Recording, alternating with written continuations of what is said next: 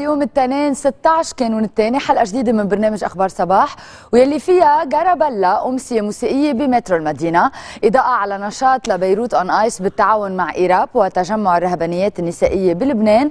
وأكيد غيرها من التقارير أما ضيوفنا الفنان إلي رزق الله لنحكي معه عن الأمسية الغنائية يلي بتجمعه مع ياسمين الفايد نهار ثلاثة بكرة بمترو المدينة.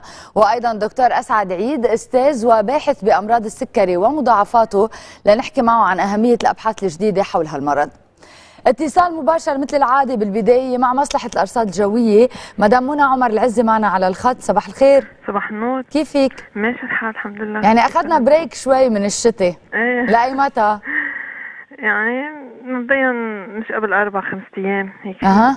okay يعني امبارح كان شوي شوي عم بيتغير الطقس واليوم بيجلس بعتقد تماما. تمام تفضلي. آه، اليوم حيكون قليل الغيوم مع ارتفاع بدرجات الحرارة أها. بشكل محدود خلال النهار. بكرة كمان قليل الغيوم مع ارتفاع إضافي بدرجات الحرارة وانخفاض بنسبة الرطوبة. okay. الأربعاء في استقرار بدرجات الحرارة وراح يكون قليل الغيوم آه okay. مبدئيا إحنا يعني مثل ما قلت لك على أربعة أيام خمسة أيام طقس مستقر يعني مع ارتفاع شوي بدرجات الحرارة.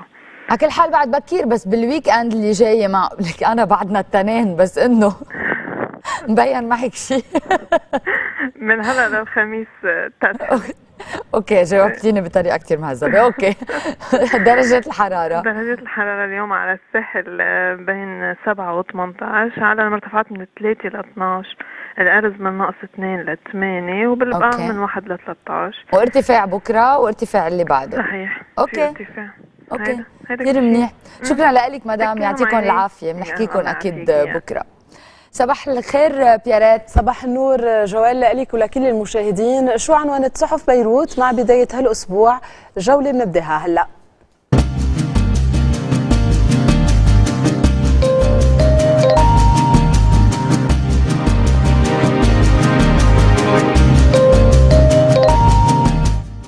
جولتنا لليوم بنبداها مع عناوين صحيفة النهار. هل تفترض إدارة النفط سياسة مالية جديدة؟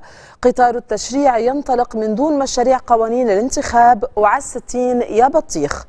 اجتماع عصر اليوم في وزارة الداخلية للبحث في التصدي لطيور المطار.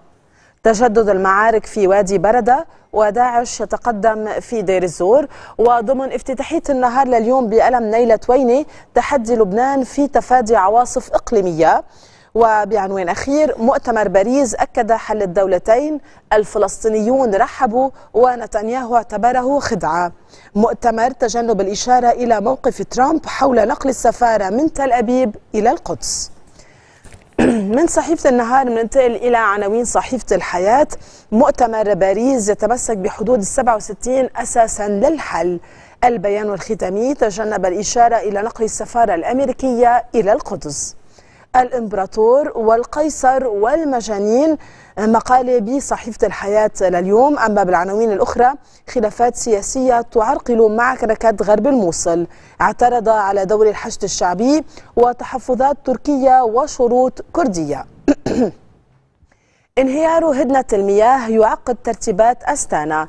اختراق سريع لداعش في دير الزور وموسكو تعزز قاعدتي اللاذقية وطرطوس طهران ترفض التفاوض مجددا على الاتفاق النووي حجبت موقع وكالة الأنباء السعودية.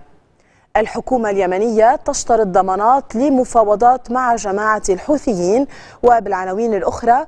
إعدام ثلاثة بحرينيين دينوا بقتل رجال أمن. وبالصفحات الداخلية بالحياة لليوم رؤساء أركان 13 دولة يؤكدون التزامهم عملية العزم الصلب. إسقاط طائرة لحفتر فوق بنغازي. طه حسين ساند الاتحاد السوفيتي ضد النازيين. وبعنوان أخير أتاتورك يتراجع في مناهج التعليم التركية. تركيز على المواضيع الشرعية. من صحيفة الحياة ننتقل إلى عناوين صحيفة المستقبل؟ مؤتمر باريس. إجماع دولي على حل الدولتين ترحيب فلسطيني ورفض إسرائيلي. وكيري وإيرو ينتقدان نقل السفارة الأمريكية إلى القدس. إربيل ترفض إملاءات طهران بإغلاق القنصلية السعودية. معنويات داعش في الموصل منهارة والقوات العراقية تستعيد حي الأندلس. مجزرة لقوات الأسد في وادي بردة روسيا تطور قواعدها في سوريا والرئيس الأمريكي يصف وضع حلب بالمريع العصفور الأزرق يلوح بفضل ترامب وبالعناوين الأخرى بصحيفة المستقبل لليوم مباشرة ترامب لمهامه محك أساسي لمسارات لبنانية وسورية استبقت وصوله. زمن العلاقات العربية الجميل.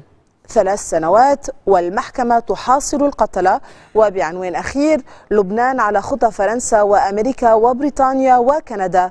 سلامة الطائرات أولاً. ننتقل إلى عناوين صحيفة الأنوار. صمت حكومي على صيد طيور النورس وبقاء مكب النفايات.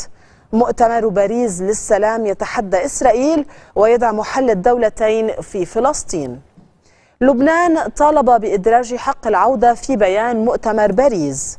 جنبلاط يبلغ الكتل رفضه النسبية وقانون المختلط. ودائما بالأنوار انفجار سيارة بمدينة الباب السورية ومواجهات في وادي بردة القوات العراقية تبحث عن الدواعش في مباني جامعة الموصل. وختاما كتب المحلل السياسي لليوم المطلوب فتح الدفاتر ومن يغطي قبل كارثة المطار. من صحيفة الأنوار إلى عناوين صحيفة اللواء مجاهرة جنبلاطية بالستين ومجاهرة شيعية برفضه. خليل يلوح بالشارع إذا غابت السلسلة عن الموازنة وسلامة الطيران تنتظر إجراءات الحكومة. خادم الحرمين للمفتي دريان الدعم السعودي للبنان متصاعد. تدهور ميداني في وادي بردة وقذائف النظام تطارد المدنيين. تقدم لافت لداعش في دير الزور رغم عشرات الغارات الجوية. عباس يلتقي البابا فرانسيس ويفتتح سفارة فلسطين في الفاتيكان. قد نسحب اعترافنا بإسرائيل في حال نقل السفارة الأمريكية للقدس وبالعناوين الداخلية weekend أبيض بامتياز والطقس إلى تحسن. وختاما رؤساء أركان التحالف يؤكدون مساندتهم لعملية درع الفرات. نوصل إلى صحيفة البلد وبالعناوين العريضة لليوم. أسبوع تشريعي يقوده بري وجملات يستنفر ضد النسبية. معارك وادي بردة تتشدد وداعش يحاصر دير الزور. القوات الخاصة تمشط جامعة الموصل. وبالعناوين الداخلية أين أصبح ملف المركز الطبي التابع لقوى الأمن الداخلي؟ اللقاء التشاوري لحضور فاعل للمؤسسات العسكرية في البقاع وختاما الصورة اللي عم نشوفها من مؤتمر باريس والعنوان الحل بالحل. من صحيفة البلد بنوصل إلى الصحف الأجنبية وبداية ترجمة لعناوين صحيفة Daily Star لليوم. وبأبرز العناوين عون يصر على قانون انتخاب جديد لكن بري مشكك. قمة باريس توجه رسالة لإسرائيل وترامب. وعنوان أخير مدير ال CIA يحث ترامب على التكلم بحذر. من The Daily Star إلى ترجمة لعناوين صحيفة L'Orient-Le Jour صيد النورس عندما يكون الدواء أسوأ من الداء. عندما تسخن الانتخابات التشريعية الطبقة السياسية وبعنوان أخير وادي بردة يشتعل من جديد. من L'Orient-Le Jour متابع جولتنا وبصحيفة الشرق إلى اليوم نورس المطار من الحبة عملوا أبي. الحريري يرحب بمقررات مؤتمر باريس لا للتوطين. مؤتمر باريس الحل بالدولتين. الصراف السعودية كانت وستبقى قبلة العرب. مؤتمر الرياض القضاء على داعش وبالعناوين الأخرى مجلس الوزراء في السراي الأربعاء ب 32 بندا. وبالعناوين الداخلية المعارضة تستعيد مواقعها في بردة الرياضي يهزم الحكمة بفارق 30 نقطة ومن صحيفة الشرق ننتقل إلى صحيفة الشرق الأوسط وبعناوين اليوم مؤتمر باريس يتمسك بحل الدولتين. شدد على أهمية مبادرة السلام العربية وعلى حدود ال 67 أساسا للحل. التحالف ضد داعش يبحث تعزيز المشاركة العربية والإسلامية. البحرين إعدام ثلاثة مدانين بالإرهاب. الحكومة الأردنية وزيرا الخارجية والداخلية أبرز المغادرين.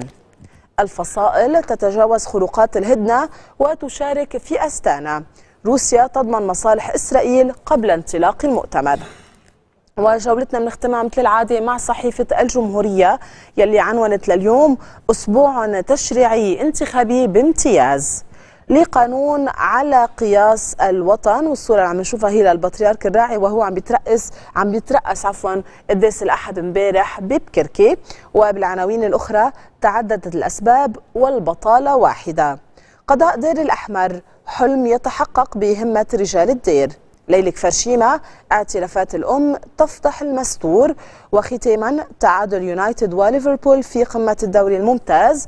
وبيصير اليوم مع صحيفة الجمهورية مثل صباح كل نهار تنين ملحق خاص بالمحركات. نحن وصلنا هلأ لختام جولتنا على صحف اليوم. رح نتوقف هلأ مع بريك إعلاني ومن بعده جولة على أبرز المواعيد الثقافية والفنية مع جوال ضلكم معنا.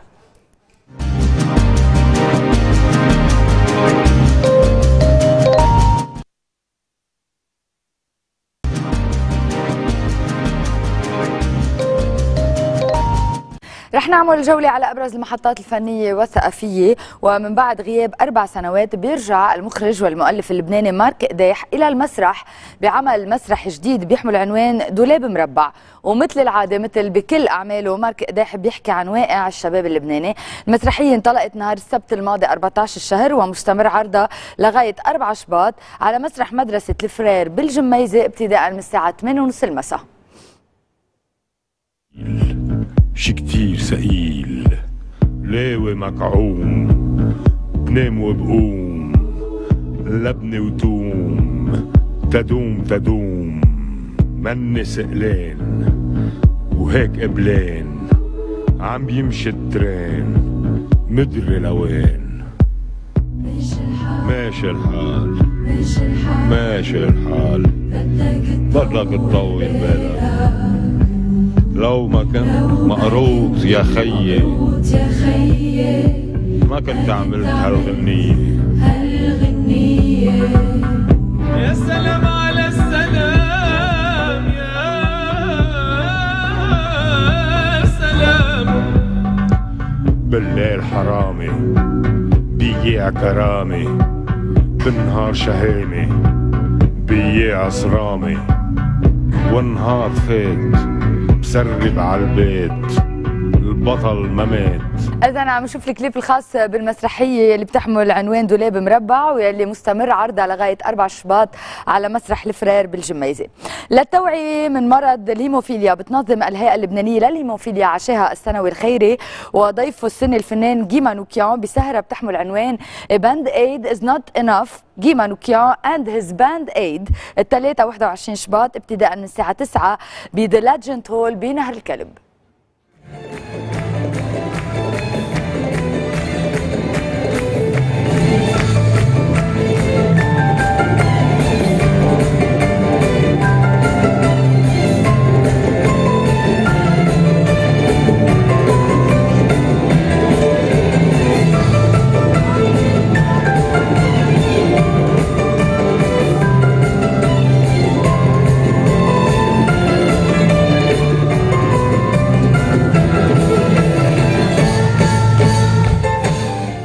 من المحطات الموسيقية إلى المحطات الغنائية كارول سماحة بعمل استعراض جديد بيحمل عنوان كارول ألا شانديل السبت 18 شباط الساعة 8:30 المساء بقصر المؤتمرات بدبي. من أول ما تلاقينا أنا وياك في شي غريب غير عمري وصار يحلي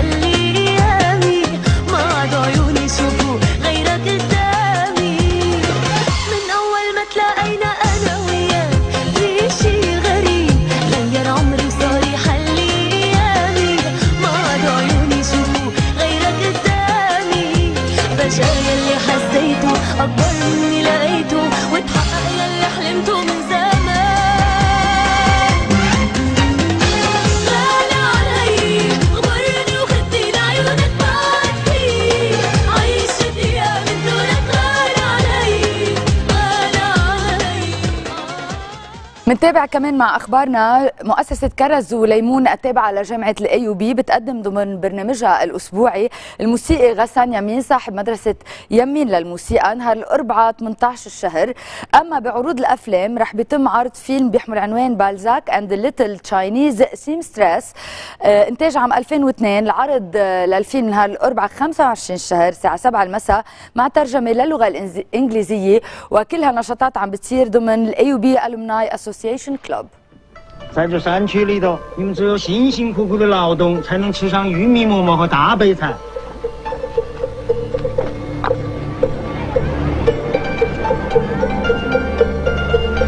他们都叫我小裁缝，你呢？你叫啥子？我姓罗，叫罗明儿。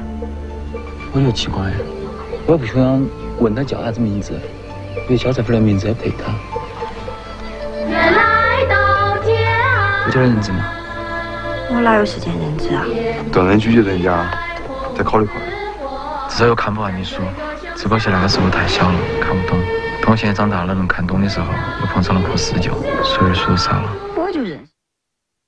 مثل ما جرت العادة متروفون بمترو المدينة بكرم كل فترة فنان أو فنانة من الزمن الجميل وهالمرة وقع الاختيار على الفنانة نور الهدى. تحية لها من خلال استعادة لأبرز أعمالها مع شانتال بيطار غناء ليس مسعود على القانون أحمد الخطيب على الإيقاع وغيرهم بمواعيد ثلاثة ب 25 الشهر بواحد وثم 25 هالشهر واحد و8 شباط ابتداء من الساعة 10 المساء إذا بمترو المدينة. بيت صباح الفل يا فل. أهلا بست الكل الكل الكل يا بيت صباح الفل يا فل. أهلا بست الكل الكل الكل يا بيت صباح الفل يا فل. أهلا بست الكل الكل الكل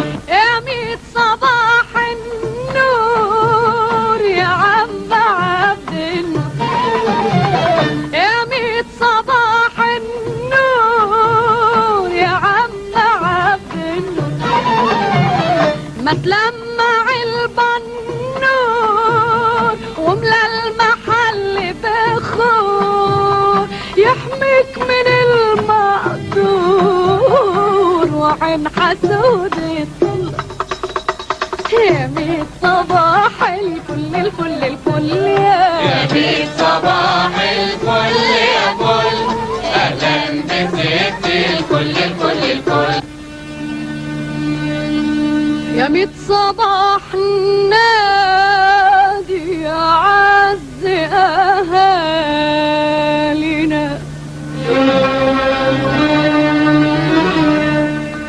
يجعل صباحنا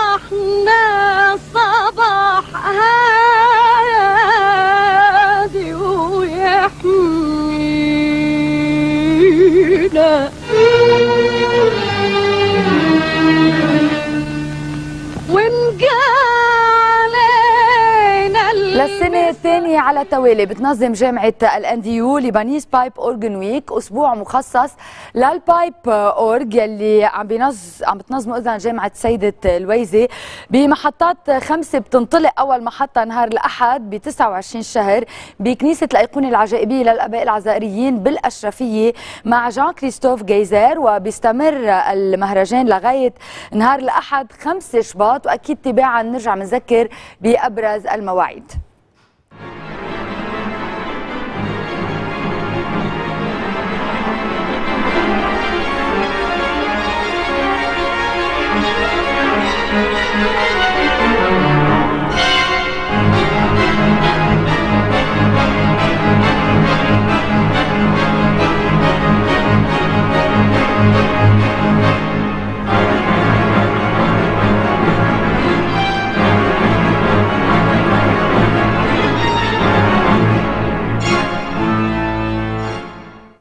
وبخبر أخير رح نروح إلى خارج لبنان إلى مسرح الأولمبيا بالكويت يلي تم إنشاؤه حديثا واللي عم بيتم الاحتفال بإنشاء هالمسرح على مدى سهرات وليالي كثيره أبرزهم مع الفنانة ماجدة الرومي يلي رح تعطينا موعد على خشبة هالمسرح ب 20 الشهر المقبل. ابتداء من الساعة 9 المساء والفرقة الموسيقية رح بتكون بقيادة المايسترو لبنان بعلبكي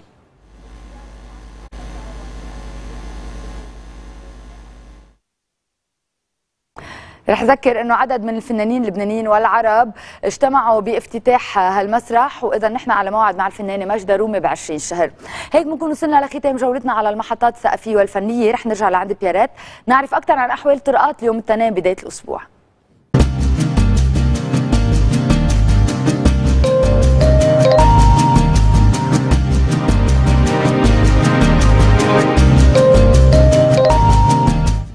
المعاون رؤوف أبو العز من غرفة العمليات المشتركه التابعة لهيئة إدارة السير معنا على الخط لناخذ منه تفاصيل أكثر عن حركة السير بهالاثناء كيف عم بتكون على مداخل العاصمة وداخل بيروت. صباح الخير.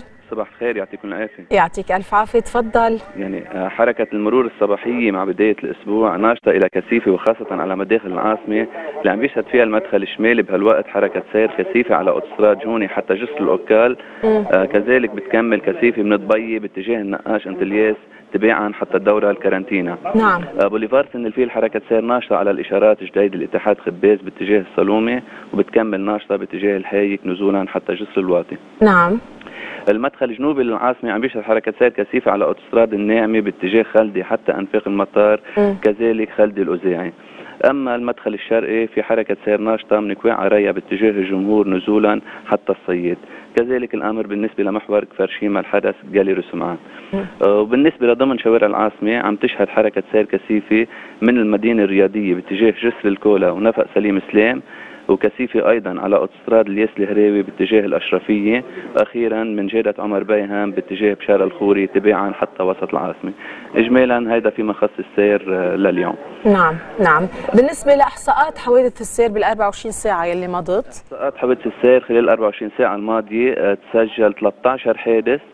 كانت نتيجتهم 15 جريح ووفاة شخصين للأسف. نعم. وبالنسبة لمخالفات السرعة؟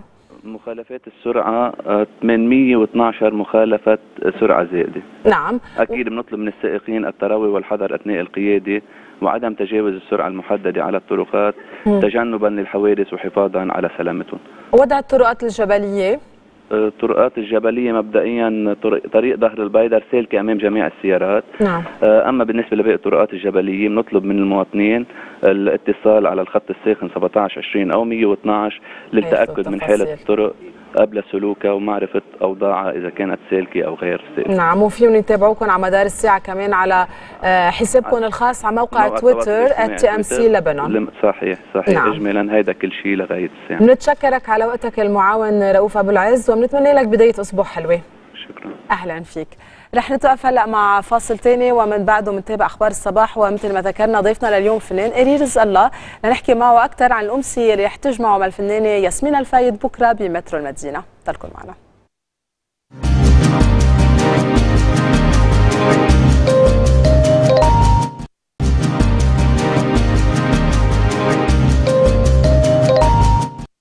صباح الخير. طيور النورس كشفت المستور والآتي أعظم. مسبح بالمطار تربية دواجن وللفضيحة تتمه وليكمل النقل بالزعرور موسم صيد وإبادة النورس فتح أبوابه. ولهواة الصيد تيروا مجاني بمطمر الكوستا برافا. وكأنه ما بيكفي خطر السلامة العامة والخطر البيئي ليسجل لبنان خرق للاتفاقيات الدولية لمنع صيد طيور النورس. للنفايات العشوائية مطامر عشوائية وحلول عشوائية ودخلك يا طير الوروار بنبتعد عن الحاضر يلي عم بيحصد سنوات متراكمة من الفشل والسفقات. لنروح بمشوار موسيقي مع التراث الأرمني بأسلوب عصري. فرقة جارابيلا يلي بتهدف إلى تجديد التراث الأرمني لإيصاله إلى شريحة كبيرة من الشباب.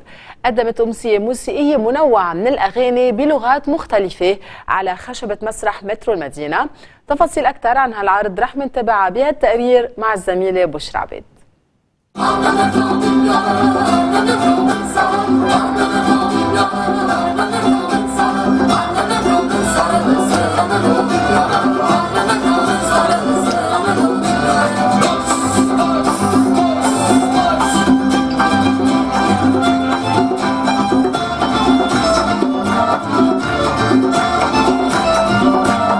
ليحافظوا على الإرث الأرمني. مجموعة شباب انتهجوا طريقة عصرية لتجديد تراثهم عن طريق توديع أغاني قديمة بطريقة جديدة وبلمسة شبابية. فرقة جرابالا كانت حاضرة على مسرح مترو المدينة بأمسية مميزة ومختلفة.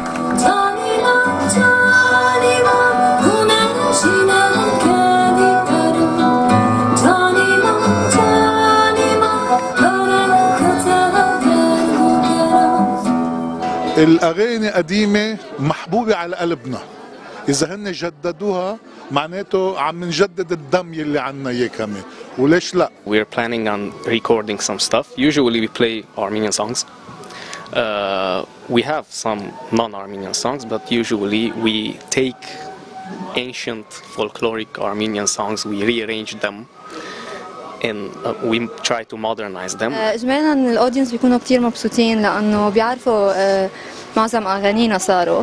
وبس يكون عندنا غنية جديدة مثلا آه، كمان they're very excited to get to know it. اللي ما بيفهم ارمني في يتمتع بالموسيقى. الكلمات في كتير كمان ما بيفهموها لأنه هن كلمات كانوا يستعملوها بالضياع. فما ما حتتاثر اذا الشخص ارمني ولا لا المهم حدا لازم آه، يستمتع بالموسيقى وبيمشي حاله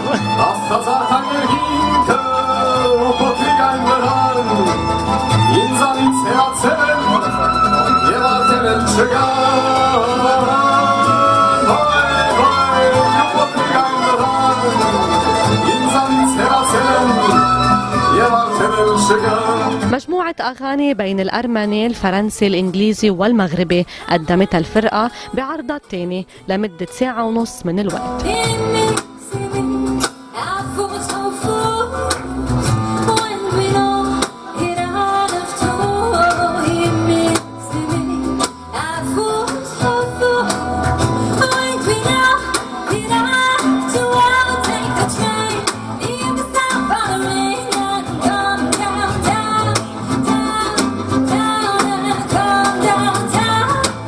دايما معهم الموسيقية عم بيجددوا عم في ناس uh, they are applying for the band وعم بياخدوا new uh, performers معهم. بيمزج بين آه، بين التراث الارمني و new يعني old traditions و modern modern touches وهيدا تاني مرة عم بحضره. أنا كل شيء فولكلور بيهتم فيه الحقيقة وهيدي أول مرة بشوف فولكلور أرمني available هلأ بالمنطقة فجيت شوف ساعدت باندز مثل جرابالا الشباب يسمعوا أغانيهم الأصلية اللي كانوا بيسمعوها أجدادهم.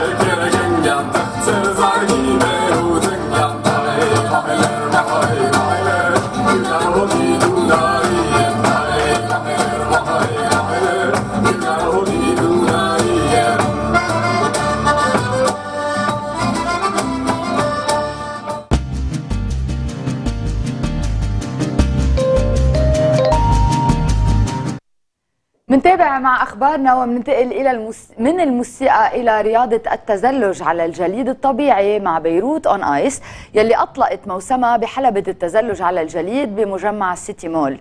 من خلال نشاط إنساني مخصص للأطفال بمشاركة جمعية IRAP وتجمع الرهبانيات النسائيه تقرير بالضوء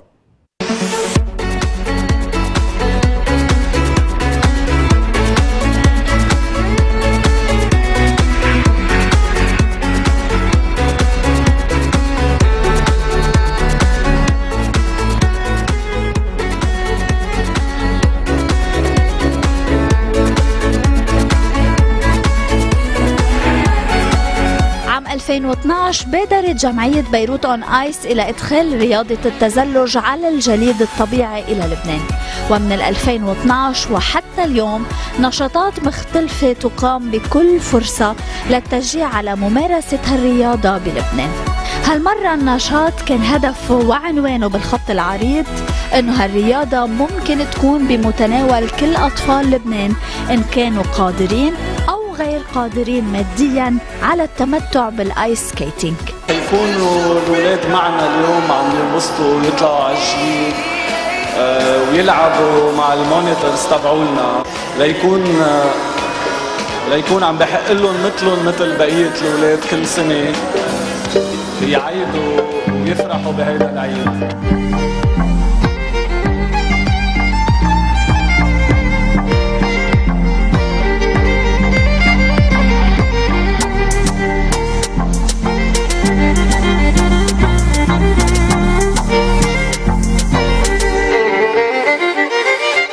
بمشاركة كل من جمعيتي IRAP وتجمع الرهبانيات النسائية بلبنان. بادرت Beirut on Ice بإطلاق موسمها لها السنة بحلبة التزلج على الجليد بال City Mall. بنشاط مخصص للأطفال والعيال يلي بتهتم فيها هالجمعية. وهي شوي صعبة بس بدها مساعدة. ولما الشخص يتعلم مزبوط ساعتها بصير فيه آه، يعمل رياضة بشكل صحيح.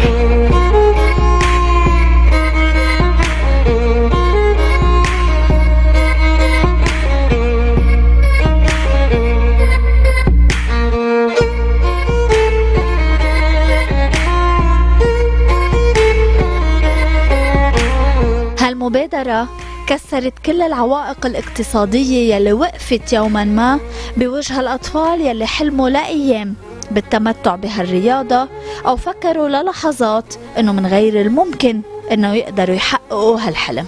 أطفال مدعوين وحتى صحفيين وإعلاميين دخلوا الحلبة برفقة أطفالهم ليتمتعوا بأجمل تجربة ضمن المعايير العالمية للحلبة وضمن أعلى مقاييس الحماية والسلامة العامة.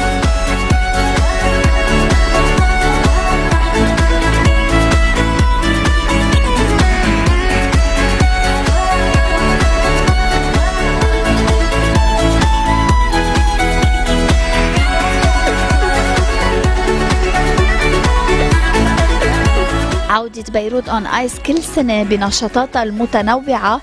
ما هي إلا جزء من إيمانها بضرورة الاستمرار بلبنان لعكس أجمل صورة عن هالبلد وعن المجتمع اللبناني يلي يؤمن بالإنسانية بشكل كبير.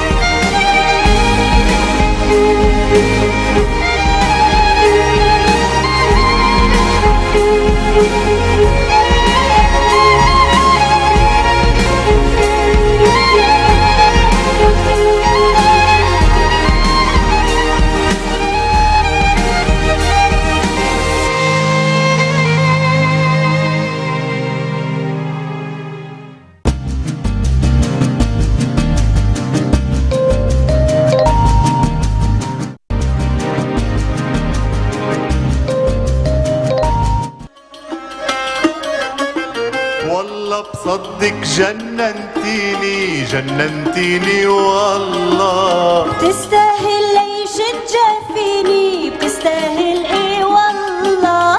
والله بصدق جننتيني جننتيني والله. تستاهل ليش تجفيني تستاهل إيه والله. خطيت بحقك لا تواخذيني. آه لا تواخذيني. ما تخطيش أنا مسكين أنا درويش من غيرك ما بقدر أعيش. أنا مسكين أنا درويش من غيرك ما بقدر أعيش. حسن الله حاكيني ما بديش ما بديش. والكرمة الله وحسن الله ما بديش.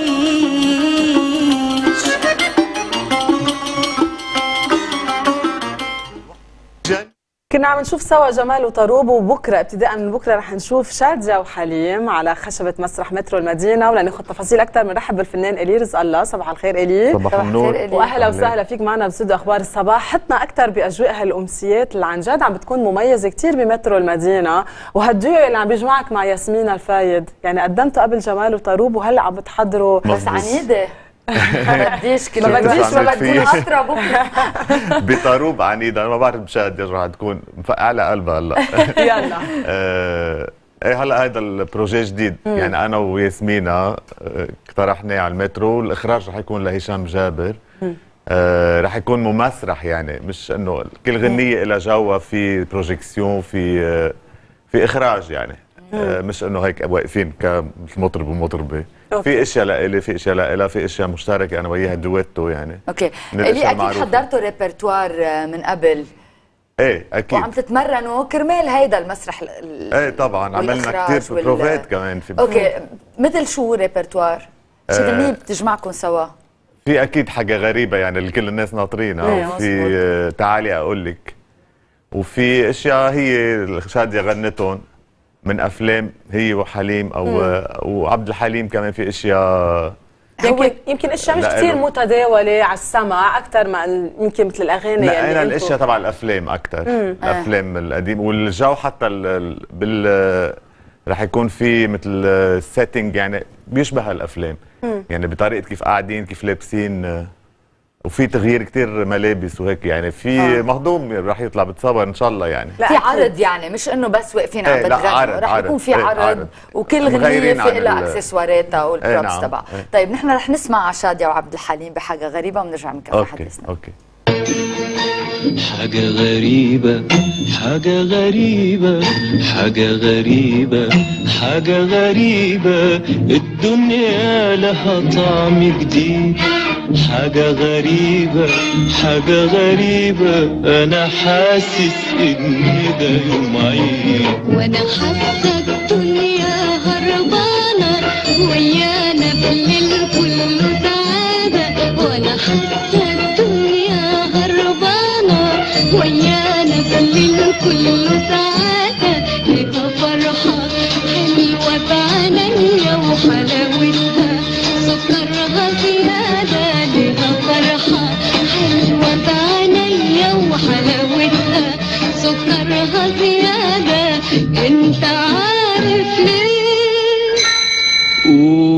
انتي ليه؟ علشان إحنا مع بعضينا والأول مرة لوحدينا ولا حدش بيبص علينا غير فرحة قلبنا وعنينا حاجة غريبة حاجة غريبة. اللي كنا عم نقول قبل ما شفنا الغنية إنه كل أغنية رح بيكون عندها جو خاص فيها نعم. رح بيكون في ديكور معين رح بيكون في projection صح؟ نعم إيه. بعض المشاهد كمان يلي جمعت شادية وعبد الحليم سوا نشوف. يعني مثلا أو إلي وياسمينة سوا إيه مثلا حاجة غريبة. عاملين لها اخراج مثلا في بتعرفوا ال- المترو في عنده أسلوبه بال projection وهيك مثلا هون المشهد كاننا بسيارة. ورانا مش كان قاعدين بالسيارة ميلت ورا مهضومين يعني طالعين. نعم. بيكون في جو. وهشام عنده نظرة حلوة صح. يعني. إيه. والمترو عنده جوه يعني صار معروف شو جوه مزبوط، مزبوط. طابع معين يعني صار أخذ هال وياسمينة كمان يعني بتجنن يعني. ياسمينة بسلم عليها، اشتقنا لها. هي ملكة المترو بامتياز طيب آه، كيف عم بيكون التحضير؟ عم تتمرنوا؟ مين معكم بالفرقة؟ آه، في معنا أربع موسيقية. آه، نضال أبو سمرة آه، عم بيشتغل بيانو وساكسوفون. في عادل من قارع جيتار جيتار كلاسيك آه، في آه، إيقاعات بهاء ضو سماحة بالمنى وسماح بالمنى أكورديون. أكورديون يعني مثل هن. الموسيقيين سماح عادة الب- بيكونوا. موجودين معكم آه، لا ال- عادل ونضال مش دايما مش بس دايماً. بهاء و بهاء وسماح okay. هن بالمترو يعني قديش هالتعاون ال- إنه تكرروا التعاون already مع ياسمينة قديش هيدا الشيء اللي صار يعني انت وياها بس تكونوا سوا على خشبة المسرح قديش صرتوا مرتاحين؟ قديش صرتوا بتعرفوا لبعض؟ أكيد. ياسمينة صديقتي من, مم. من زمان يعني من زمان كنا يعني كنا نغني مع زياد سحاب. وفي صداقة قديمة ومع العائلة بكل شيء. وبعدين هلا بالأعمال الفنية بتصير يعني أحلى. هيدا الشيء بيصب لصالحكم ككوبل مزبوط. غنائي. يعني في را- راحة بالتعامل و... وأنا بحب لها طبعها وبحب لها كل ستيلها وشكلها وكل طيب. من آه، أمسيات سابقة رح نسمع لك هلا. لا لا تنغش بسيارة تلمع وتلالي. لا لا ولا تنخدعي بعمارة عم تشمخ بالعالي. لا لا لا تنغش بسيارة عم تلمع وتلالي.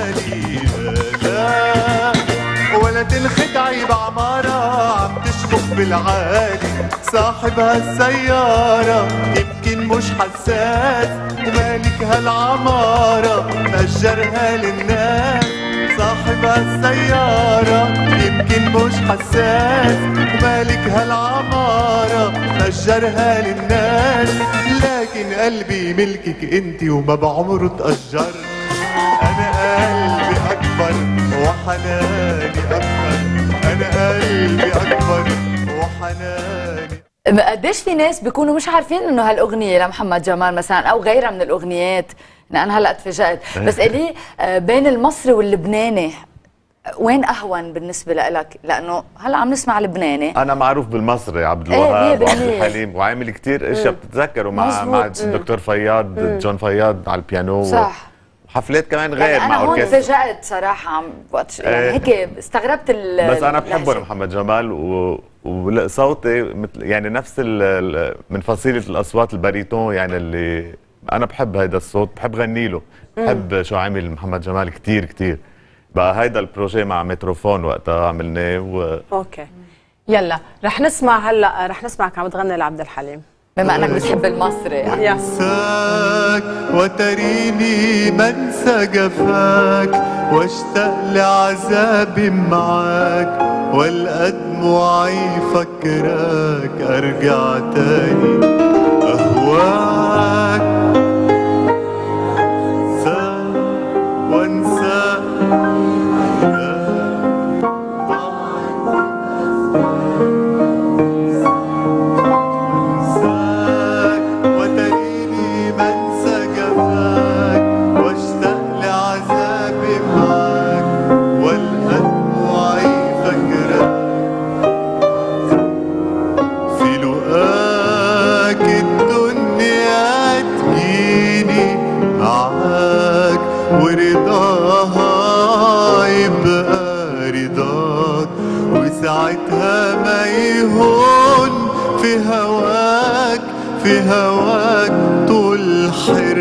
حرماني هون شفناك فاذا بامسيه وجه طرابيه الآخر. وجه الآخر كان اسمها لا لا هي هو عم بيقول إنه هيدا بين- ثاني إيه. بين اللبناني والمصري إيه. هذا الوجه فكرت الآخر الأمسية لا لا سميتوها وجه لا الآخر هيدي كانت اسمها كنا مسمينها يوم من عمري. وين كنتوا هون. بالبريت؟ لا هيدي مترو كمان. بمترو المدينة بس كمان ب- بريت هون. دايما بعمل كمان كمان, عم من, من شهر عملت concert كمان، مع صح. مع orchestre غير كمان. okay. إلي آه، في مشاريع لديو جدي- جداد؟ في هلأ مشروع كمان يعني هذا أنا وياسمينة كمان بس بعد ما حكينا فيه يعني كيف بتنقوا الفنانين؟ بنقعد وبكون أنا براسي شيء أو هي براسها شيء بنحكي بعد ونبلش بحث وقد إيه بالاغاني بتحضروا أفلام؟ يعني مثل هلأ تنقول آه، شادية وحليم قد إيه بترجعوا بتسترجعوا هالأفلام؟ هلأ آه، المنيح إنه صار في يوتيوب يعني يعني إيه. من زمان أول ما بلشت غني كان. صعب يعني تعملي ريسيرش هلأ كثير سهل. شوف بتتذكر إنه أنا وصغير في هذا الفيلم مع فاتن حمام مثلا شو غنى فيه أو مع شادي أو مم. طيب نحن بنعرف إنه في لما تنقوا فنانين اثنين أنت فنان وياسمينة فنانة أوقات يمكن لو كنتوا بتحبون بس ما بيلبقوا إنه تجمعوهم سوا بتصير تتعدل الفكرة آه، بشكل عام اللي عملناه لحد هلأ هن فنانين عملوا أشياء سوا. يعني عم هذا نستعيد الشيء مقصود. إيه إنه يكونوا عاملين عم أعمال نستعيد سوا. شيء آه، قريب للسمع والناس بتحبه بتحبه، إيه. ما هو نحن الحمد لله يعني بهالبلاد العربية مقضينا بالذكريات لأنه عن جد كله كان حلو قبل وهلا عم نخسره يعني من بس تعرف كمان إنه منيح إنه المترو صح عم بيقدم آه، فنانين جداد وأيام يعني عروض عم بتكون نوعا ما حديثة وعصرية بس كمان عم نرجع نسترجع الزمن الجميل طبعا. من خلال هالأمسيات إيه، اللي يعني عم يعني عم هو هذا هدف. المترو. كمان إنه يعني يرجع يستعيد هالأشياء من خلال فنانين شباب أكيد. طبعا أكيد. يلا بنسمع بعد. والناس الناس قالوا إيه؟ انت غنيته في ساعة والناس سقفوا ساعتين وبحصص الإذاعة هتذيعوا في اليوم نكتين فكرتيني فكرتيني يا سلام لو كانش ده حلم. ومسيره هيبقى علم. إمتى؟ إمتى؟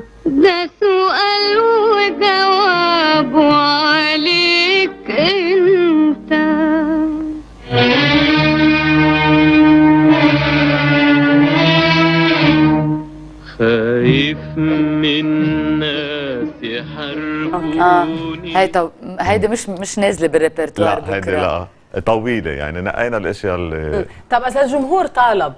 تنقول بآخر الأمسية الجمهور بده يطالب ببعض الأغاني. قديش أنتم آه أنت وياسمينة إنه مستعدين آه تنفذوا يعني طلب ممكن هلا هيدا العمل مش أنا مثلا بحفلاتي لحالي. تكون أو شيء دغري بنعيد مرتين وثلاثة أوقات. بس بأشياء هيك يعني ممسرحة. مم. ما في يعني اللي موجود هيدا هو. يعني الا إذا في طلب كثير بنعيد شيء من اللي عملناه لأنه كمان بده يكون الواحد محضر بده صح. يكون عاملين بروفا للغنية إلي كيف عم بتلاحظوا الجمهور؟ شباب كبار؟ آه من الاثنين. وأكيد الكبار في أكثر بهالحفلات خصوصا ابن عبد الحليم وشادي يعني تردون إنه- لحنين الزمن الماضي طبعا. يعني. إيه وحتى بس- بجمال وطروب كان كمان في من الجيلين. بس في شباب يعني في عندك إيه، عنصر إيه، شباب إيه، بحبوا. يسمعوا. حتى بكل حفلاتي وأنا بغني لعبد الوهاب لا بيكون أها. في شباب.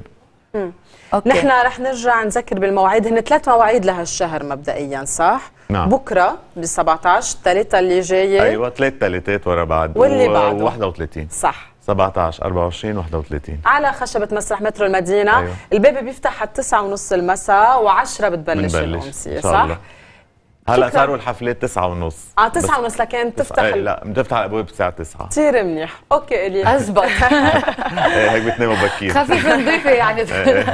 نحن نتشكر حضورك معنا ميرسي. سلمنا كثير على. ياسمينة. وكل التوفيق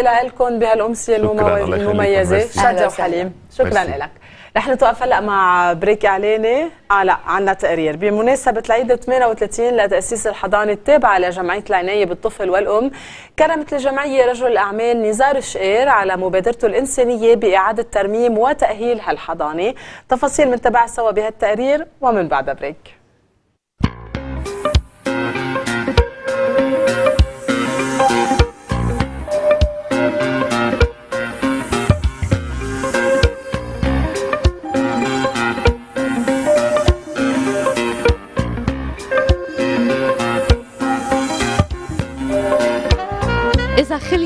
خربت. هالمثل بيختصر مسيرة أصحاب الأيادي البيضاء اللي بيقدموا عمل الخير والعطاء الكريم؟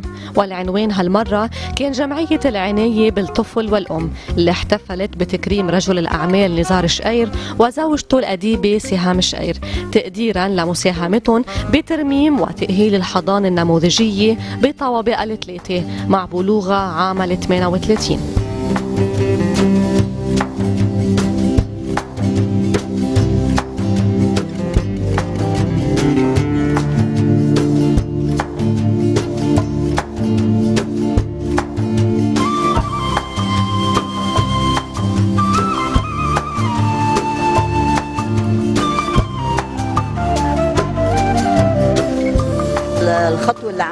اياها يعني حصلنا ثلاث طوابق بالحضانة.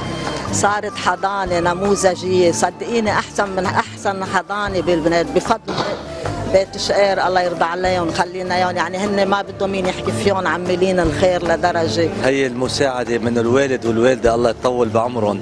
أنا هون جاي إذا بدك يعني داعيين يكون موجود. بس هذا الشيء منه يعني بعيد عنهم هن عمل الخير يلي نحن تربينا ببيت بيت الخير موجود فيه. وتعلمنا الخير منهم. بقى أنا بتمنى كل هالعالم اللي بتقدر تساعد هالجمعيات هدول يلي فعلا لو ما هالجمعيات اللي عم تشتغل هالمجتمع اللي عم بيشتغل لكن الوضع الاجتماعي أسوأ بكتير أتمنى أن تكون كل ايامك هذا اليوم في أحلى من عمل الخير. هذا هو الشيء اللي نحن بناخده معنا بالنتيجة.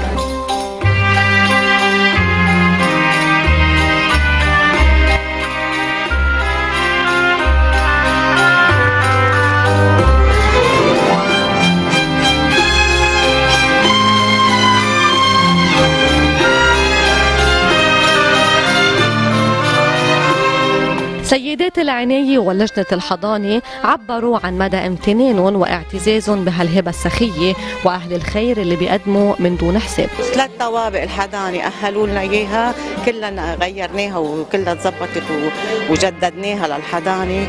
وكل شيء بخص يعني كل شيء لازم وزارة الصحة طالبته للحضانة كله انعمل بالحضان بحضانتنا. ألف مبروك وبيستاهل التكريم. والله يخلي له يخليه هو ومدامته لأنه الحلو إنه بيعمل بيعملوها هن ونسوانهم وهيدي شغلة لفتة كتير حلوة.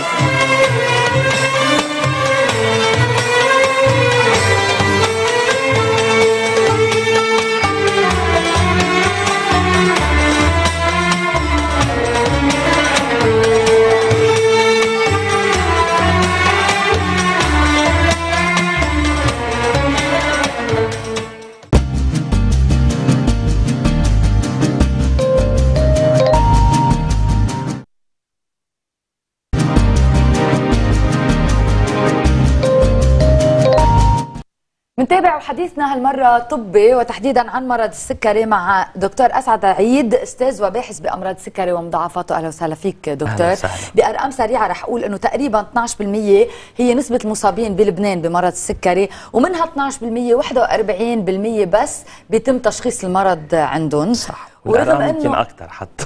okay بس ال- ال- المعروف إنه مرض السكري مأذي ومستعصي وحالته يعني عن جد مزمن. ثقيلة بس مضاعفاته هي المأذية أكثر وهون حديثنا. صح. مزبوط؟ نعم. آه نحن من يعني في حملة بلشناها بالتعاون مع عده جامعات اسمها the silent killer ب England عطوها بإنجلترا عطوها اسم the silent assassin القاتل الصامت.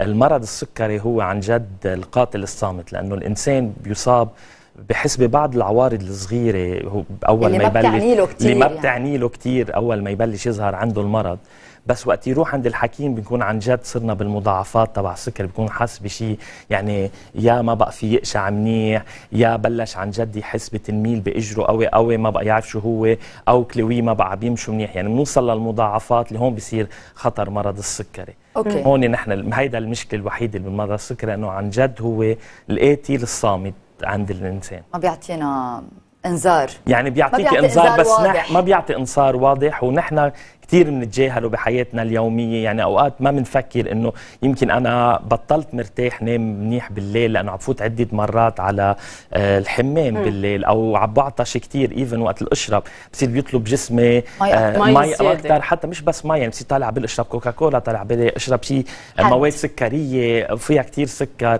آه، بحس إنه بتنميل لا هذا يمكن تنميل عادي ما هو. يمكن يكون عادي ويمكن ما يكون عادي ونحن بلبنان عندنا كثير إهمال. ما- إهمال لصحتنا صراحة بنهتم بكل ما شيء. في فحوصات دورية. ما في فحوصات دكتور لازم. على القليلة يعني مرة بالسنة نعمل فحوصات مرة كل ست أشهر من عمر معين من عمر ال 45 وطلوع لازم الواحد كل ست أشهر يعمل فحوصات من ال 40 وطلوع وإذا. كان السكري عامل وراثه بالعائله إيه أو لا؟ هيدا لازم. أكيد. إذا عامل وراثه بالعائله كل إنسان عنده بعائلته سكري يعني مبين إنه يعني جده وسته كلهم هيدا لازم عن جد يعمل على طول فحوصات دوريه هذا أهم عامل بخلي إنه الإنسان يكون عنده chance كبيرة إنه يصاب بالسكري على عمر تم معين المضاعفات تأذيه بعدين تم ومنا نحكي. نحن أكثر عن هالمضاعفات مضاعفات المرض لأنه هون معروف إنه نحن بنعالج أو بنرجلج نسبة السكر بالدم. بس ما بنطلع كثير كمان بالمضاعفات اللي هي بتكون قاتله أيام أكثر من. من المرض يعني المريض واللي معه سكري هو الحكيم مش بس هو يعني الحكيم بيوصف له قصص تتركلج له آه، معدل السكر بالدم. يعني بيطلع قد إيه معدل السكر؟ بيطلع على المخزون السكر عنده بيحاول يرجلجهم. الت- التريجلوج تبع السكر بقلب الدم بخف مش بخففها تتبين المضاعفات بس لحديت. هلا بأخرها. لحديت هلا ولا مرة قدر يوقفها. مم. ليش؟ لأنه بدك تعتبري معك cellular تقريبا. انتزع في شيء بتزبطي هالشيء بس أكيد هالشيء يمكن ضارب حده plaque صغيرة بتنتزع بعد فترة. نفس الشيء وقت يعلى عنا السكر بالدم بخربط كتير أمور بجسمنا. اهمها خلينا نبلش نحكي يعني في. عندك عدة أنظمات يعني إحنا آه، بالمختبر اللي بيشتغل فيه بالجامعة الأمريكية عندنا مثلا بنركز أكثر شيء على شو بنسميه reactive oxygen species ال stress بيعمل مثل آه، بيفرز مواد بقلب الجسم اسمها reactive oxygen species أو المواد المؤكسدة. هيدي منا لحالها بتخلي بعض البروتينات والانزيمات اللي بجسمنا يخربط عملها يعني حتى بصير يقتل الخلايا الموجودة مثلا بالكلى. الخلايا الموجودة بالجهاز العصبي ما بتعود تتفاعل مزبوط هول كلهم بيصيروا لأنه السكر غير بمستوى هالانزيمات اللي بتطلع الأكسدة التفاعلية بقلب جسمنا بتغير غير قصص بنوصل لعدة أمور مش منيحة بالأعضاء كل كلهم تقريبا okay. يعني برهنا إنه بالكلى عنا كثير انتزاع بالكلى من وراء هال reactive oxygen species بالجهاز العصبي هلأ عم نعمل study مع فرنسا ب... مع شخص لبناني هو عميد كلية biomedical sciences بالسوربون باريس سيتي بفرنسا عم يشتغل على الجهاز العصبي تنشوف هيدول كيف بيتفاعلوا وبينزعوا بعض الخلايا اللي هي بتأمن آه، ال- الوظيفة السليمة للجهاز العصبي وعم نشتغل كمان عليها بالقلب. هيدا ال stress بسبب هيدا الشيء ال stress يعني الضغط اليومي يلي هلا فينا نسميه الضغط اليومي فينا نخليه نسبة السكر يعني الضغط اليومي أكيد بساهم آه، هو اسمه reactive oxygen species كلمة اوكسيديتيف stress. ستريس إيه. هو ال oxidative stress okay. stress له نوع كتير مهم okay okay كنا عم نشوف صور بعتقد لفريق الأبحاث اللي عم يشتغل بالجامعة الأمريكية هول نحن بنعرف شو هول بالجمعية اللبنانية لدراسة آه. أمراض السكري وكمان يلي أسستوها اللي كمان. أسسناها هلأ وبعض اللي بيشتغلوا عنا بال lab هيدا اللي اللي عم نشوفه هلأ هو طلع أهم paper بجريدة عالمية مم. لسنة ال 2016 اللي مرق قبل وبرهنا فيه إنه اللي عم نحكي هو ال reactive oxygen species قدرنا نلاقي آه، ال- ال source تبعه يعني ال- مصدر. المصدر تبعه وقدرنا وقفناه خففنا نسبة أمراض الكلى عند الحيوانات وعند بعض الناس لأنه بلشنا هلأ أبحاث سريرية بنسبة 40% ها نسبة عالية نسبة عالية أمراض الكلى نسبة للكثير. 40% وهذا عم نشتغله بالتعاون مع جامعة بسان أنطونيو بتكساس okay. وبجامعة بفرنسا يعني دكتور كمان. بالمختصر أنتم بالجامعة الأمريكية وبالأبحاث اللي عم تشتغلوها عم بتجربوا تخففوا من مضاعفات يلي بي... بتنتج عن صح. مرض السكري صح. وبالتالي بتحافظ بنسبة كبيرة على حياة الإنسان مزبوط براءة الاختراع يلي حكيتنا عنه تحت الهواء شو بيقول؟ براءة الاختراع كمان مرق. هون هيدا قدمناه من شي سنة ونص آه، حصلنا على الإذن إنه يقدر ينشر كبراءة اختراع لنا بقول إنه في مواد بتنف... بيفرزها جسمنا وقت يبلش يتخربط. يعني أول ما يعلى مستوى السكر بالدم ببلش يخربط قصص صغيرة للعيان ما بتبين. يعني لأنا إنسان معي سكري ما بحس فيها شيء بس هاي القصص بتنفرز بالبول. نحن بنقدر ب test معين بلشنا هلا عملنا هي براءة الاختراع وعم نحاول يعني نعممه لأنه هلا صرنا عم نشتغل مع ال NIH بأمريكا عليه إنه نقدر نكتشف قبل 10 ل 15 سنة فين؟ نقول إذا هالإنسان المريض بالسكري حيأثر على قلبه السكر بعد فترة قبل غيره. يعني إذا رح يعمل crise cardiaque أو لا؟ إذا رح يعمل أي آه، اختلال عارض بال- بالقلب. عارض بالقلب قبل فترة كبيرة من ما تصير يعني قبل عشر سنين تقريبا من ما تصير الخبرية. وهون فينا نحن يكون عندنا يعني آه، بالمستشفيات يصير عندهم قدرة إنه يقدروا آه، يعني يزبطوا هالخلل قبل ما يصير. قديش فيهم يزبطوه كتير بس على القليلة بهيدا الموضوع عم بتطولي له حياه لمرض السكري بكتير. احتياطاتهم. احتياطات قبل بكتير وبتطول له عمره أكثر بكتير من ما هو المفروض يكون يعني صراحة. طيب شو اللي دفعك تتخصص بمجال الأبحاث عن مرض السكري؟ يعني ما عم بتطبب انت بطريقة غير مباشرة عم بتطبب الناس بس انت شغلك نحن كله مثل ما بسموه الجند. المجهول اللي بيشتغل. بالمختبرات مم. آه الفكرة إنه نحن قررنا إنه آه يعني وقت المريض يروح عند عند الحكيم أكثر شيء في يعمله اللي هو موجود متاح بإيده هو هالأدوية اللي بتخفف مثل ما قلت مم. معدل السكر بالدم بس كل هالمضاعفات طب شو بنعمل فيها موجودة يعني ليش بدنا ننطرها تتجي ليش بدنا ننطرها إنه عن جد يعني تأثر بعمر أي مريض معه بالسكري لأنه هيدا يعني ما قلت بالأول بيقتل قتل يعني. so so, وقت كنت بأمريكا اشتغلت مع شخص عملت my fellowship هونيك مع شخص uh, كثير هيك ب- بيقدر البحث وشجعني فوت فيه لأنه قال لي إنه أنت عم تشتغل على شيء لهو لبعدين آه، جديد. يعني إذا ما حدا رح يشتغل فيه إذا كل العالم رح تروح بس تضلها توصف نفس الشغلة سكري، سكري. هيك بدك تعمل ما بعود في يغير شيء so نحن حابين نعمل توعية آه، غير يعني. ليه آه، أدوية لقصص يعني بعدنا السكر تمت معالجته. لا مش معالجته. يعني أو يعني الحد منه السكر أو بدك. توقيفه نوعا ما. بدك بس في له. المضاعفات صح. اللي ما حدا عم يشتغل يعني عليها بشكل يعني بالنهاية الواحد من الأيام بده يبلش يشتغل عليها تيلاقي لها دواء بالنهاية. يعني, طيب لما نقول الجامعة الأمريكية عم تشتغل مع فريق العمل على هالأبحاث يعني بكرة الأبحاث رح تطلع من أكيب لبناني. أنتم عم تشتغلوا كمان صح. مع مع أمريكا وفرنسا على صح. الموضوع بس مثلا براءة. الاختراع براءة الاختراع هي لبنانية 100% طيب فينا بس نحن بس تعملنا براءة الاختراع بلشنا نعمل آه تتوسعوا. بالابحاث منيح. طيب فيك تعطينا بس مثل دكتور عن آه، مضاعفات معينة يمكن هي الأبرز عند مريض السكري كيف عم تقدروا مثلا تحدوا منها أو آه، تتكهنوا إنه ما- مش تتكهنوا إنه based on يعني أول مضاعفات بتيجي هي المضاعفات اللي بتضرب العين الجهاز العصبي وبيرجع الكلاوي صاروا يسمون هلأ triopathy لأنه بيجوا مع بعضهم. okay. يعني نحن عم نشتغل على اثنين منهم صراحة. المختبر اللي أنا بشتغل فيه واللي أنا مديره نشتغل على اثنين. نشتغل على الجهاز العصبي والجهاز الكلوي. مثل ما قلت لك بالجهاز الكلوي صرنا متقدمين كتير. صراحة يعني بلشنا هلأ آه، آه، اختبارات سريرية على مرضى على مثل ما قلت على تلاقينا ال source اللي بتطلع على ال reactive oxygen species بقلب ال- الكلوة وبلشنا نوقفها. يعني نعمل لها آه، ننزل لها مستواها بقلب الجسم.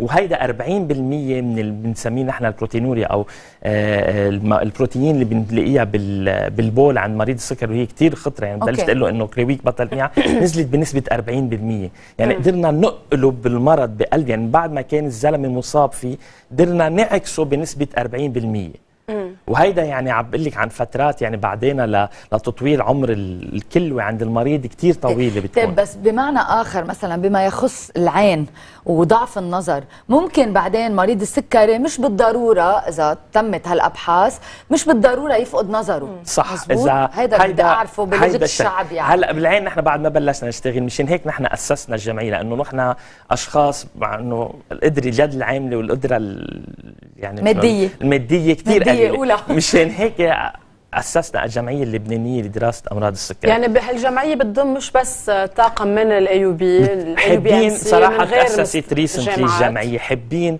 يكون مرض الكل. السكري مثل قديش بنهتم بمرض السرطان هون وفي كتير أبحاث السكري هو عن جد مرض كتير مهم صراحة يعني إذا للأسف. للأسف مرض كتير مهم وكتير مش مضوى عليه يعني حبينا من خلال هالجمعية إنه بقد ما في نطاقات فكرية بأفكار كل اللي حابين يشتغلوا على مرض السكري سوا. اللابوراتوارات اللي حابين نحن نقدر نساعدهم وحابين حتى نقدر نجرب نساعدهم ماديا بعد ما وصلنا لهالقدرة بس هلا عم نساعد فكريا جديد يعني. تاسسنا جديد وهذا اللي عم نحاول نقتله انه يكون وجودنا مش بس كمان للأبحاث يعني ولا للتوعية يعني في كتير منظمات بلبنان تشتغل على. هالموضوعين. نحن حابين عن جد نكون عم نوعي على الأبحاث إنه الأبحاث كتير مهمة بهالمرض 100%. حتى مشاريع قوانين خاصة بالاولاد اللي معهم سكري بقلب مم. المدارس كيف يهتموا فيهم توعية الأساتذة كيف يتعاملوا مع مريض السكري اللي عندهم بالصف هذه كمان غير موجودة هذا اللي عم نحاول نعمله بالجمعية ندعم هالشيء موفقين.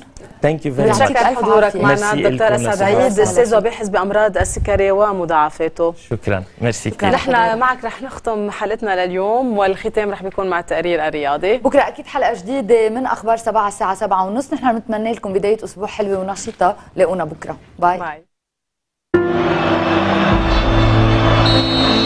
نادي بايرن ميونخ لكرة القدم وغالبا ما يعرف اختصارا باسم بايرن بالألمانية بايرن ميونخن. هو نادي رياضي ألماني يقع مقره في مدينة ميونخ بمقاطعة بافاريا. وقد اشتهر النادي عبر تاريخه بفريقه لكرة القدم الذي يعتبر أقوى وأكثر فرق كرة القدم الألمانية تتويجا بالألقاب حتى يومنا هذا. حيث نجح النادي في الفوز بلقب الدوري الألماني 26 مرة وبكأس ألمانيا في 18 مناسبة. كما استطاع الحصول على خمس ألقاب لدوري أبطال أوروبا كما أن بايرن يمتلك أكبر قاعدة جماهيرية في ألمانيا. تأسس بايرن ميونخ في 27 فبراير 1900 على أيدي 11 لاعب كرة قدم بقيادة فرانس جون. وعلى الرغم من فوزه ببطولة الدوري في العام 1932 فهو لم يتم اختياره ليلعب في أول مواسم البوندسليغا بحالته الجديدة في عام 1963 في هذه العام شهد النادي حقبته الذهبية في منتصف السبعينيات من القرن الماضي بقيادة نجمه التاريخي فرانز بيكنباور حيث استطاع أن يفوز ثلاث مرات متتالية ببطولة دوري أبطال أوروبا بين عامي 1974 و 1976 واستمر تألق الفريق منذ ذلك الوقت وهو يعتبر حاليا أنجح الأندية الألمانية في العقد الماضي إذ أحرز خمس بطولات للدوري الألماني في آخر عشر سنوات. أما آخر لقب أوروبي للنادي فبيعود لعام 2013 عندما فاز البايرن بدوري دوري أبطال أوروبا للمرة الخامسة بتاريخه بعد ما تغلب على بروسيا دورتموند الألماني. أما أبرز المنافسين والغرماء التقليديين للبايرن فهن أندية بروسيا دورتموند وميونخ 1860 ونادي نورنبرغ على المستوى المحلي وريال مدريد ومانشستر يونايتد و AC ميلان على المستوى الأوروبي. اقتصاديا البايرن هو النادي الأول على صعيد الإيرادات في ألمانيا والخامس على المستوى العالمي وفقا لتقرير ديلويت لأغنى أندية العالم المقدم من قبل مجموعة ديلويت لخدمات الأعمال حيث وصلت إيراداته موسم 2014-2015 إلى 445 مليون يورو وملكية النادي تعود لأعضائه الذين يبلغ عددهم 185 ألف. ويمتلك البايرن 3202 نادي رسمي للمعجبين حول العالم حيث بتضم هذه الأندية حوالي 230 ألف مشترك. يخوض البايرن مبارياته الرسمية منذ موسم 2005-2006 على ملعب الألينز أرينا والذي يتسع ل 71137 متفرج.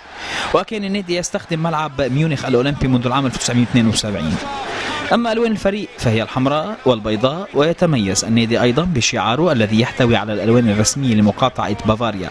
ولا تقتصر نشاطات البايرن على كرة القدم فهو يمتلك فروع رياضية أخرى هي الشطرنج كرة اليد كرة السلة الجمباز البولينج وكرة الطاولة. يحتل بايرن المركز الثاني في ترتيب الأندية الأوروبية الصادر من قبل الاتحاد الأوروبي لكرة القدم وأولا في ترتيب الأندية الأوروبية الصادر من قبل الاتحاد الدولي لتاريخ وإحصائيات كرة القدم. البايرن تأسس على يد أعضاء من نادي ميونخ 1879 للرياضة البدنية عندما اتخذت إدارة النادي في 27 فبراير من عام 1900 قرار يمنع لاعبي كرة القدم التابعين لها بالالتحاق بالاتحاد الألماني لكرة القدم. عندها ترك 11 لاعب من قسم كرة القدم لنادي ميونخ 1879 وقاموا بنفس النهار بتأسيس نادي بايرن ميونخ لكرة القدم FC بايرن ميونخ. ولعب مباراته الأولى أمام نادي نورنبرغ في عام 1909 وخلال شهور قليلة استطاع النادي الحديث تسجيل انتصارات كبيرة على كل الخصوم المحليين ونجح في الوصول إلى نصف نهائي دورة جنوب ألمانيا لموسم 1900-1901 وفي الموسم اللاحق استطاع الفريق الفوز بلقب الدورة. موسم 1910-1911 التحق البايرن بدوري الكريس ليغا المؤسس حديثا كأول دوري محلي بافاري لكرة القدم ونجحوا بالفوز باللقب في ذلك الموسم ولكن لم ينجحوا بحمل هذا اللقب مجددا حتى أتت الحرب العالمية الأولى وأوقفت كامل النشاطات الكروية في ألمانيا. من دون أدنى شك بايرن ميونخ واحد من أكبر وأعرق الفرق في أوروبا وله امتدادات جماهيرية في كافة أنحاء المعمورة. بايرن ميونخ يسعى دائما للفوز بالألقاب وتحديدا الدوري الألماني البوندسليغا ولاستقطاب أعلى وأغلى اللاعبين والمدربين. بالإضافة إلى أنه الفريق الأكثر تواجدا في بطولات أوروبا بشكل عام.